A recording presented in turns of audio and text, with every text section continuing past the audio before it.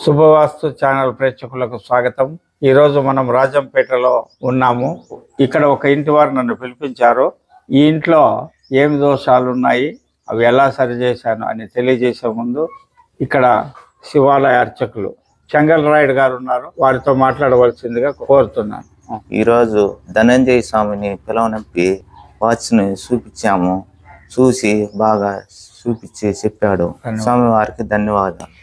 ఈ ఇంట్లో డబ్బులు నిలవలేదని కారు యాక్సిడెంట్ జరిగిందని స్వామివారిని పిలవనొప్పి చూపించాము. ఆయన చూసి చెప్పారు. వాచ్ శుద్ధంగా చెప్పినారు. వారికి ధన్యవాదాలు.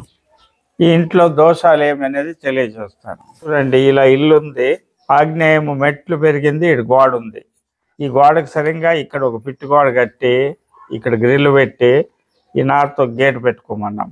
ఇది వెస్ట్ రోడ్డున్న ఇల్లు. పూర్ణబాహ ప్రవేశం వచ్చేలాగానే ఉంది. అయితే ఆగ్నేయం పెరగడం వల్ల అనర్థాలు జరిగినాయి. మరియు ఇదంతా షీట్లు వేసినారు. ఈ షీట్ల కింద ఓపెన్ వదిలేస్తూ ఈ ఆగ్నేయం మెట్లు పెరగడం వల్ల ఆగ్నేయం పెరుగుతూ ఈ షీట్లంతా ఉన్న ప్రయోజనం లేకుండా పోయింది. మళ్ళీ వాయువులో బాత్రూమ్ కట్టారు. బాత్రూమ్కి వెంటిలేటర్స్ లేవు.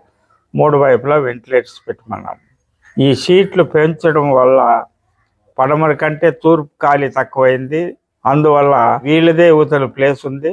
ఈ కాంపౌండ్ తీసేసి కాంపౌండ్ ఎక్స్ట్రా పెట్టుకొని గేట్ పెట్టుకోమని చెప్పినాము.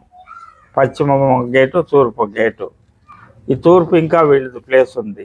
ఎప్పుడైతే కాంపౌండ్ పెంచుకుంటారో గ్రిల్ వేసుకుంటారో డోర్ పెట్టుకుంటారో వాయు విండోస్ పెట్టుకుంటారో ఈ ఇంటి వారు అన్నతి కాలంలోనే అన్ని విధాలా అభివృద్ధి చెందుతారని తెలియజేస్తున్నాను